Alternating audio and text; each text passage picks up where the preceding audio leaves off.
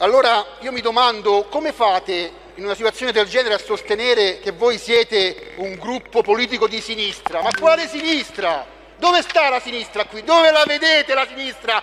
Dove la vedete? Se togliete i soldi ai più deboli per darli agli, agli eventi della giunta, dove la vedete?